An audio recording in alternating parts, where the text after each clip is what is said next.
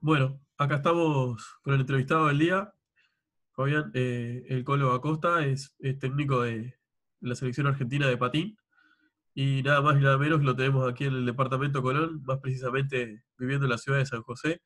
Así que bueno, por este confinamiento obligatorio no lo vamos a poder tener en la radio y usamos este medio para, para poder entrevistarlo. Bueno, Fabián, ¿cómo, ¿cómo estás y cómo estás pasando la cuarentena, primero que nada? Hola, ¿cómo estás? Y bueno, creo que como todo el mundo, eh, con un poco de incertidumbre de cuándo vaya a terminar esto y tratando de tomar todas las medidas necesarias, ¿no? Eh, es algo muy difícil de llevar adelante, creo que es, esto de la cuarentena es un hecho inédito en el mundo, eh, no sé, algo debe venir a enseñarnos supongo. Eso suponemos todos. Me parece que a partir de ahora ya el mundo no va a ser como antes. Eh, nada, preguntarte cómo arrancaste con, el tema del patín. Me imagino que desde chico hiciste patín y por qué en otro deporte.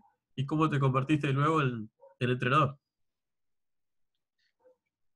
Bueno, es una historia bastante larga porque yo tengo 54 años y eh, comencé en la ciudad de Buenos Aires, en el club River Plate. Eh, mi padre era fanático, socio vitalicio del club. Así que bueno, siempre nos, nos incentivó para, para que practiquemos algún deporte, cualquiera sea. Así que cuando estaba por cumplir cinco años, eh, descubrí en las pistas de, del fondo del club, nosotros le llamábamos las pistas del fondo, que están por afuera del estadio del cilindro que uno generalmente conoce. Allí comencé la práctica eh, del patinaje artístico y bueno, fue algo que me gustó muchísimo, que enseguida le agarré la mano. Así que a los seis años ya estaba en mi primer nacional. Y bueno, de allí fue avanzando, digamos, en lo que son las, diferentes categorías. Antes, cuando yo empecé, era muy diferente que ahora. Había una sola categoría, una sola divisional, que era la divisional A. Así que comencé en mini infantil a competir, así que te imaginas. Eh, y bueno, a los seis años fui a mi primer nacional, eh, me fue muy bien, quedé campeón nacional. Y a partir de allí eh, seguí entrenando, eh, lo hacía a diario, con mucho gusto, con mucho apoyo de, mi familia. Luego de un tiempo de estar allá, vinimos a vivirnos a Entre Ríos, así que seguí entrenando un poco en Entre Ríos y los fines de semana en Buenos Aires y uh, competí hasta los 24 años aproximadamente, fue la última vez que, que yo decidí competir porque ya tenía alumnos, ya tenía chicos en competencia y bueno, yo ya sentía que, que estaba satisfecho con lo que había hecho como deportista. Así que mm, nada, hace 40 años que me dedico a dar clases de patinaje artístico porque comencé a dar clases a los 14 años. Eh, un club se había quedado sin su profesora, el presidente de ese club nos conocía, conocía a la familia, sabía el deporte que yo hacía, me dijo si quería intentarlo, le dije que sí. Bueno, en mi casa, te imaginas, cómo se pusieron, este, que mucho no querían porque yo era muy chico y estudiaba y competía y demás. Pero bueno, nada, yo les dije que sí, que yo podía, que quería. Así que desde los 14 años comencé a dar clases. El año pasado justo cumplí 40 años de estar dictando clases de patinaje artístico. Así que bueno, nada, por casualidad la entrevista, así que sirvió para, para poder recorrer un poco la trayectoria. Y bueno, el, seleccionado argentino, ¿cuándo lo agarraste y hace cuánto que ya estás como, como entrenador? Bueno, el, yo estuve varias veces dentro del seleccionado nacional. En realidad uno llega al seleccionado cuando logra formar patinadores internacionales y esos patinadores entran dentro de lo que es la selección argentina. ¿sí? Eh, a mí me tocó varias veces, eh, particularmente luego eh, me alejé un par de años de, ese trabajo, digamos,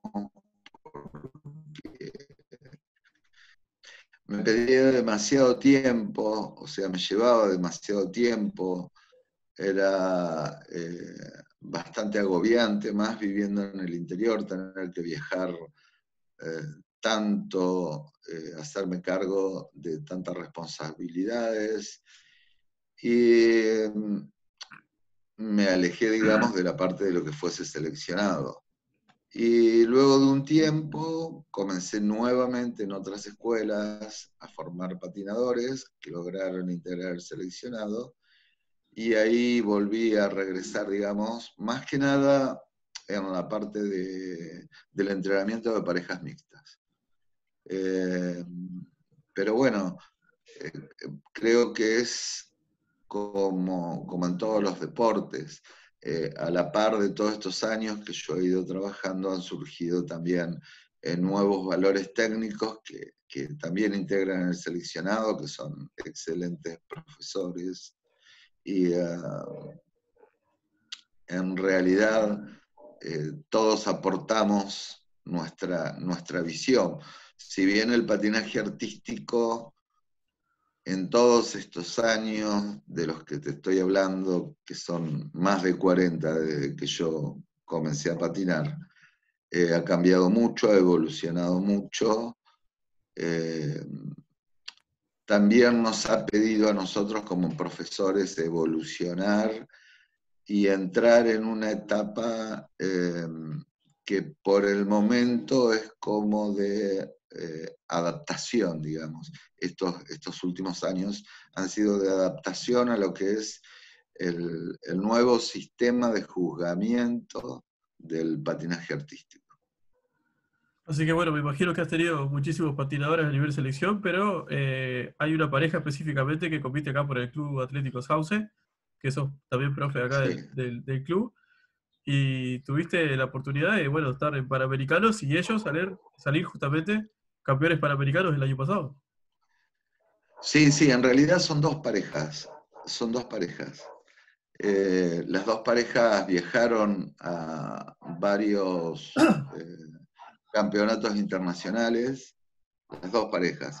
Una está integrada por Federico Bengolea y Melissa Valdés, y la otra pareja está integrada por Lucas Erlein y Valentina Preto una en categoría junior y la otra en categoría senior. Y bueno, gracias a Dios hicieron un muy buen trabajo y eh, las dos parejas lograron eh, subir al podio y traerse esas medallas para Argentina. Eh, así que fue una experiencia muy buena.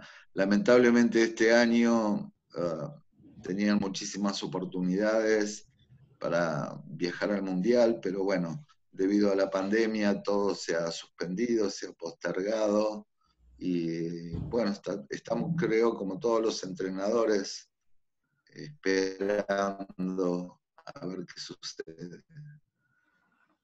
Bueno, el, patín, eh, como dijiste, es individual y, en pareja y has tenido más la posibilidad de entrenar en, pareja. Pero también en patines está la disciplina del, de, la pista, que es eh, competir a velocidad en, una pista circular. Y también está la, opción de patines del hockey sobre patines. Te iba a preguntar si estas dos opciones eh, existen en Entre Ríos, ya que están muy eh, similar a, lo que vos, a lo que vos entrenás. Sí, sí. vos sabés que hockey está en algunos lugares, sobre todo en Paraná, también en Concepción del Uruguay, en Gualeguaychú, en Concordia, sé que también se habían armado equipos y la Federación Entrerriana estaba haciendo gran trabajo de promoción, digamos, para que se formen escuelas de, patín de velocidad, de patín carrera. ¿sí? De repente lo que sucede con el patín carrera más que nada es que necesitas un espacio físico especial, digamos, este, adaptado, el, cilindro, digamos, de ciertas dimensiones y con cierta eh, caída, digamos, cierto ángulo hacia el centro del cilindro, tiene ciertas especificaciones que por allí es un poco más difícil llevarlo adelante. Más que nada, Patín Carrera se está desarrollando sobre todo en Paraná. Eh, ahora hockey sí está un poco más distribuido en, en, toda la provincia y sí, lo que prevalece acá en Entre Ríos más que nada es el patinaje artístico la federación apoya mucho en lo que es el patín, me estabas diciendo, y apoya mucho el tema de las escuelas. Y vos vi que trabajaste en, varios, estás trabajando en varios clubes. Y bueno, ¿cómo es la experiencia? Porque trabajás no solamente acá en Colón, sino en otras ciudades, y se está difundiendo mucho más el patín. Supongo que ha, generado mucha expectativa esto del, del, mundial y todo, y mucha gente ha querido empezar con el patín. Me hablabas de muchos federados fuera del micrófono. ¿Cuántos federados hay acá en la provincia? Mira, en la provincia en total supongo que deben haber alrededor de 2.000 patinadores federados de todos los clubes, ¿no? de todas las ciudades. Em, yo trabajo en varios clubes y tenemos alrededor de 500, 600 alumnos. No todos compiten, pero sí ah, se han formado grupos de competencia en, todos los clubes, eh, particularmente en la ciudad de Colón, en el Club Sauce. Tenemos un equipo bastante importante, alrededor de unos 20, 25 patinadores que están federados. Eh, la escuela, por supuesto, como en todas las escuelas de patinaje, los chicos empiezan eh, a hacerlo en forma recreativa y por allí no todos tienen el interés de hacerlo en forma competitiva. Así que nada, mi mentalidad eh, ha cambiado bastante a lo largo de estos años. Eh, yo más lo que busco en este momento es eh, difundir el deporte, que el deporte sea un vehículo para, para los chicos y los grandes también, porque tenemos gente grande que también practica el deporte, y que sea una motivación y un, eh, que sea más conocido y sobre todo que el deporte le sirva en la formación como, como seres humanos, como, como personas, ¿no? Eh, siempre estamos organizando espectáculos importantes de, gran calidad, donde asiste mucho público, donde todos puedan participar. Por supuesto, como en todos, como en todos los ámbitos, tenés por allí eh, deportistas que se destacan, digamos, en la parte eh, competitiva. Pero a lo largo de mi carrera, eh, digamos, gracias a Dios, he tenido la oportunidad de, estar al lado de las pistas y, que mis alumnos logren varias medallas, que viajen, que sean reconocidos que eso es este, muy satisfactorio y me pone muy feliz, pero también te digo que me pone muy feliz y hasta a veces un poco más ver que muchos chicos eh, de diferentes niveles socioeconómicos puedan acceder al deporte. Eh, yo creo que el deporte es una vía que permite sociabilizar, que permite cultivar otros valores, eh, hace que los chicos vean las cosas desde otro lugar, y más en estos momentos tan difíciles, viste, que por ahí los chicos prefieren estar en la calle o prendidos a un celular. Eh, nada, creo que, que uno al pasar los años, salir uno madurando, encuentra como, eh, como un vehículo digamos, que se transforma como en una herramienta sociocultural, digamos, también, y, lo puede incluir dentro de lo que es eh, la vida de tanta gente que, es feliz practicando este deporte. Igual, el deporte en sí mismo ya es, salud y imagínate inculcando valores, todas las personalidades, no solo los amateurs, sino los profesionales que, que, la, que laburan de, este deporte. Me imagino que debe haber deportistas argentinos eh, viviendo de esto, deben tener becas. Te iba a preguntar cómo era ese tema y si conoces a las hermanas Solar, que creo que son las eh, mejores de patinadoras de la, de la selección argentina, obviamente individuales, pero tienen un potencial enorme y han, salido, han salido medallistas mundiales y han ido a los Juegos Olímpicos. Sí, sí, sí, la verdad que eh, Elizabeth y Giselle son dos deportistas de super elite que han dedicado su vida desde muy pequeñas. La primera que comenzó a patinar hace muchos años es Elizabeth, que es la más grande. Eh, ellas patinaban, patinaban siempre en el Club San Lorenzo, o por lo menos comenzaron allí su carrera con, José Luis Ferreiro, que fue compañero mío. Eh, nos conocimos, prácticamente el patinaje artístico este, se inició con nosotros, digamos, acá en Argentina. Lamentablemente José Luis falleció hace un par de años y bueno, ellas siguieron buscando entre otros técnicos, pero más que nada su carrera deportiva eh, ha sido ah, con mucho esfuerzo, con gran sacrificio de sus padres. Por supuesto que siempre ha habido apoyo del CENAR y de la Confederación Argentina, pero ellas obviamente tienen ese don y esa cultura, digamos, del sacrificio, de la disciplina del entrenamiento. Eh, y desde hace ya un par de años viajan muy seguido a Italia, que es la cuna del patinaje artístico, y allí entrenan con, diferentes técnicos, digamos, de, excelente nivel, te diría los mejores del mundo. Y bueno, han acumulado a lo largo de los años la gran experiencia y bueno, eso, como se sabe, ¿no? las ha llevado a la cúspide a ser los, grandes referentes argentinos en el patinaje artístico. ¿Y qué, falta Entre Ríos o qué le falta a Argentina para eh, incentivar, aparte del patín, el patinaje sobre hielo? Que es muy parecido, pero obviamente el patín es totalmente diferente. Que lo vemos mucho en los Juegos Olímpicos de Invierno, que son muchos europeos. acá teniendo el sur argentino, me imagino que hay bastantes pistas de hielo.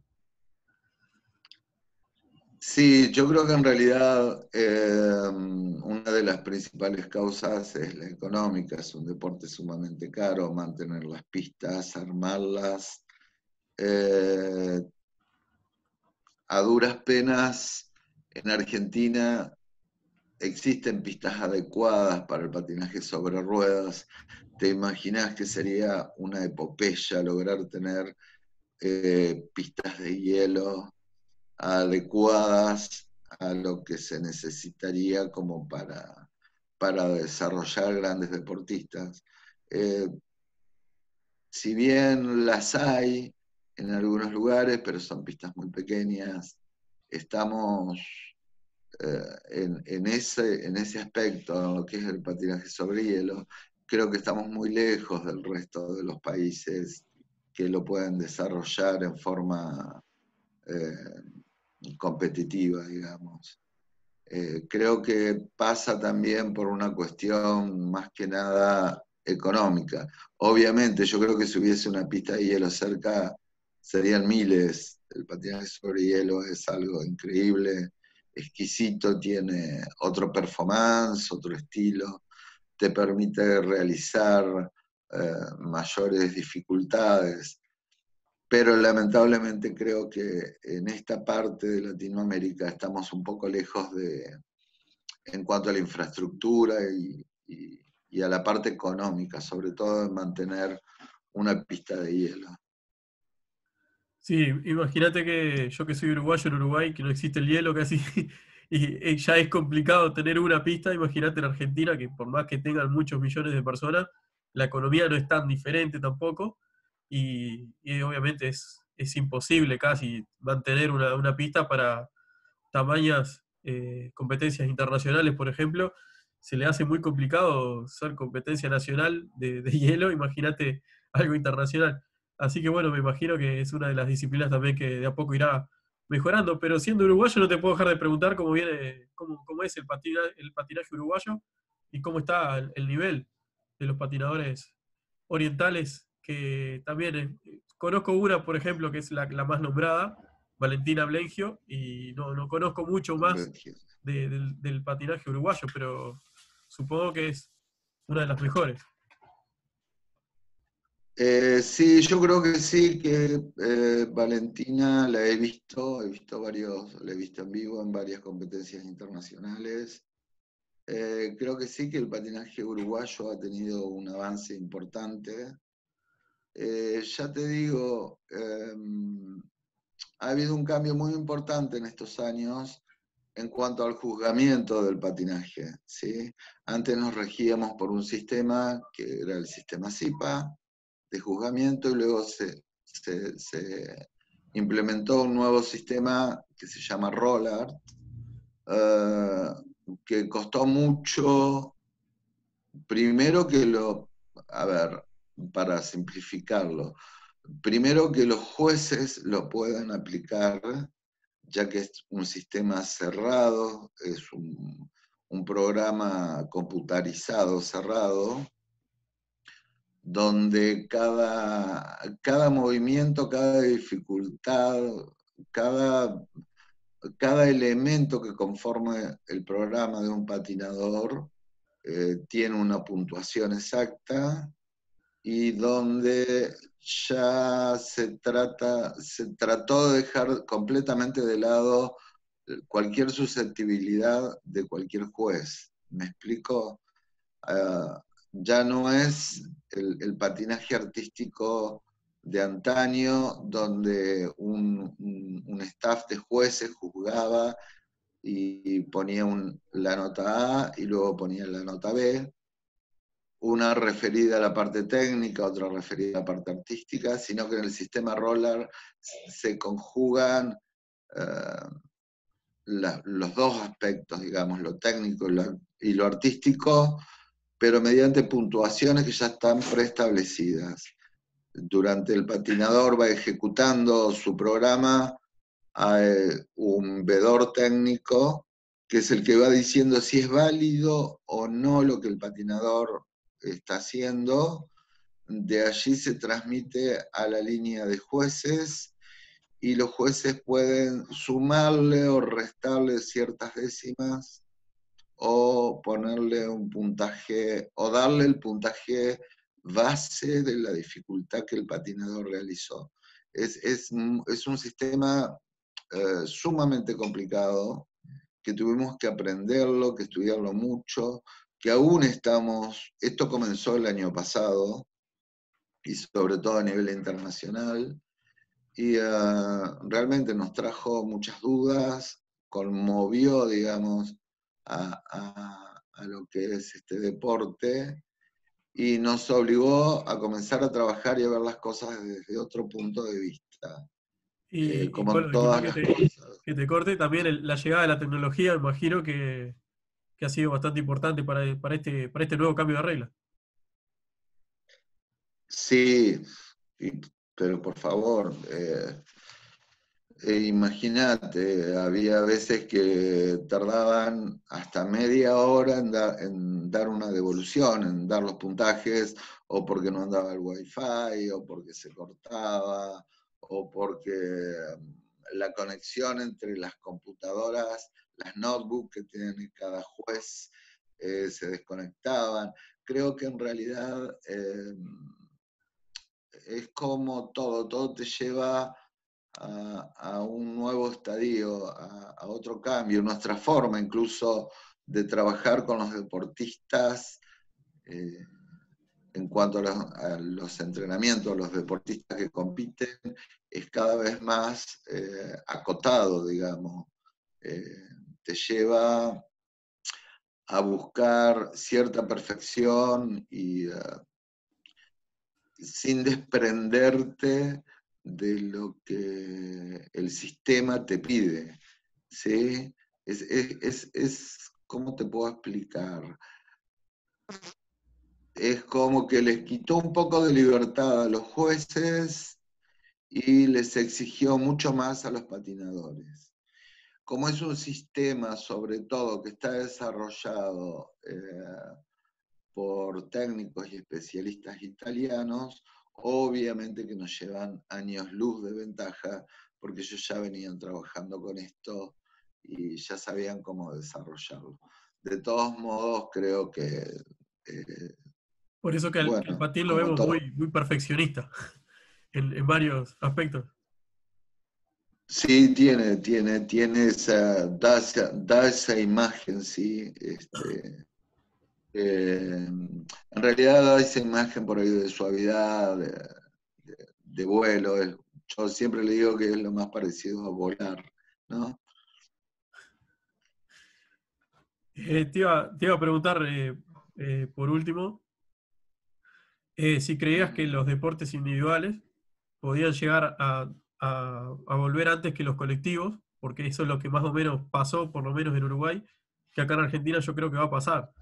De, ¿Qué opinabas vos y después de terminar todo este tema, aunque se calme un poco más, sabemos que en Entre Ríos es, la situación es mucho más eh, leve de lo que pasa en la capital, pero si los deportes individuales pueden llegar a, venir más, más, más, fácil que, más fácil de entrenarse que los colectivos, porque implican mucho más prevención y todo eso.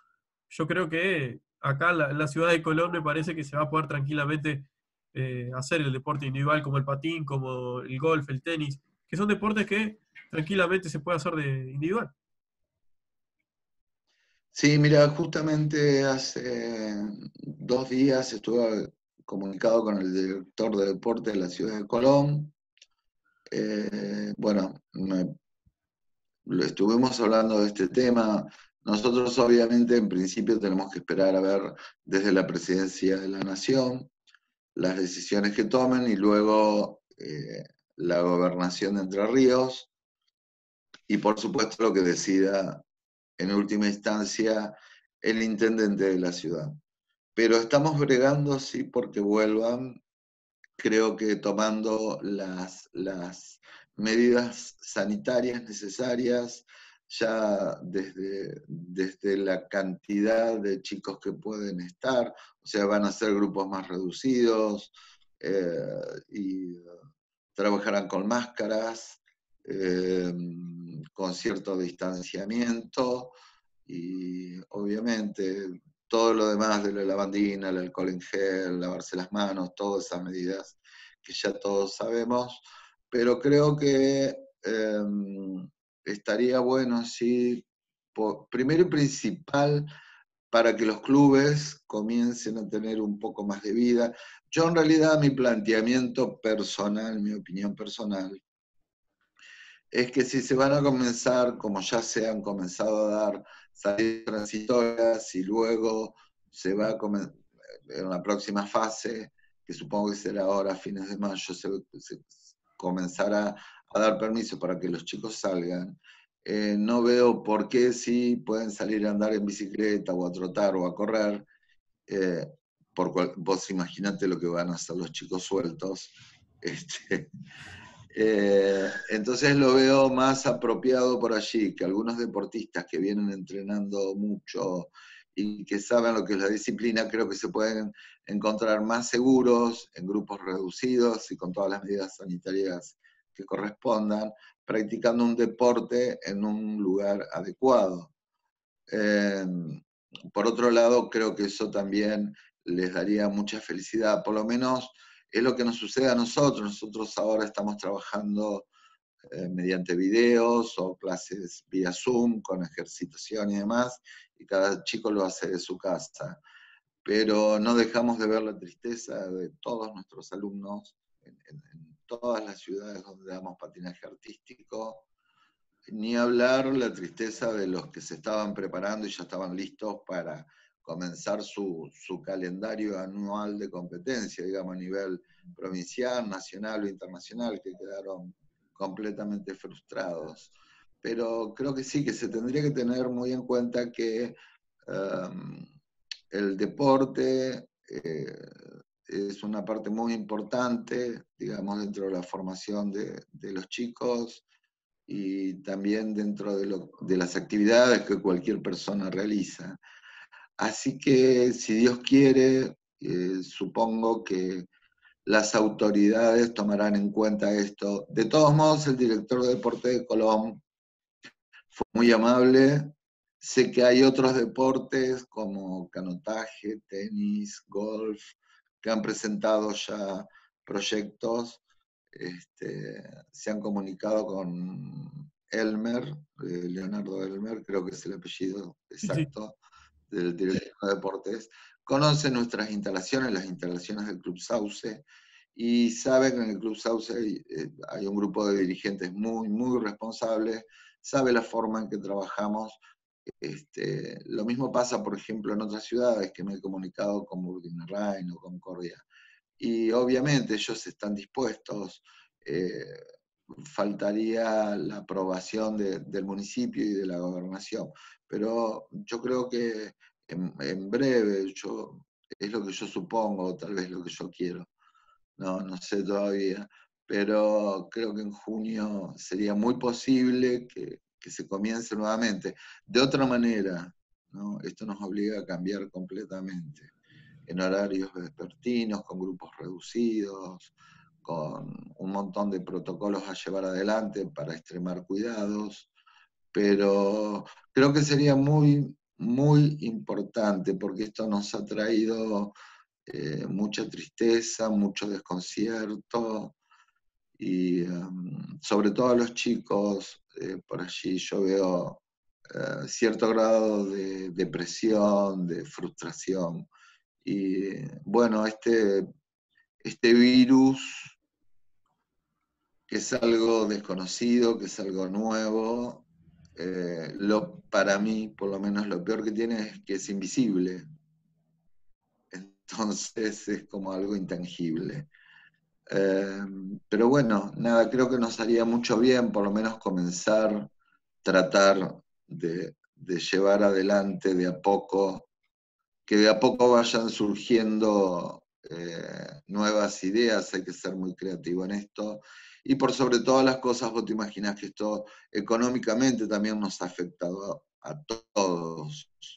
Y a nosotros como entrenadores, eh, sobre todo que por allí este, agradecemos el esfuerzo de algunos clubes por, por, ayudarnos y seguirnos manteniendo y sobre todo a los papás que, que, aportan en la medida que pueden una cuota mediante un depósito y, y con eso subsistimos pero eh, creo que eh, esta situación nos ha cruzado y nos ha interpelado como seres humanos. Creo que tenemos que buscar cosas que sumen, que nos hagan bien, que nos hagan sentir más plenos, y creo que el deporte es importante. El patinaje artístico está considerado un deporte individual, así que sé que está en la lista dentro de los primeros deportes para habilitar eh, Dios quiera y se tenga en cuenta y que se pueda volver pronto a las pistas. Esperemos, esperemos que los deportes individuales vuelvan cuanto antes. Más nosotros los periodistas deportivos que también hacemos deporte individual o amateur en, algunos, en algunos sentidos, tenemos ganas de, salir un poco, de salir de, esta pandemia. Y bueno, yo creo que de a poquito se va a poder. Eh, Fabián, muchísimas gracias por esta poquito más de media hora que, nos extendimos hablando de este deporte. Es una disciplina que algunos no conocen, otros conocen hasta por ahí, y nos adentraste un poco más en el, mundo del patín. Así que te agradezco por estos minutos. Lo mejor para este año, ojalá que se pueda volver cuanto antes a la actividad y desearte lo mejor como entrenador de, Sauce, de aquí de la ciudad, representando a la ciudad, y obviamente a la selección argentina como, como entrenador ya hace, hace años. Bueno, muchísimas gracias. Eh, Dios quiere que sí, que volvamos pronto a las pistas, a nuestro querido Club Sauce. Y eh, nada, lo mejor para todos, cuídense Y yo creo que tenemos que buscar cosas que nos saquen adelante y que nos sumen como personas y como seres humanos. Creo que el deporte y se considere la vuelta por lo menos de los deportes individuales cuanto antes. Un gusto.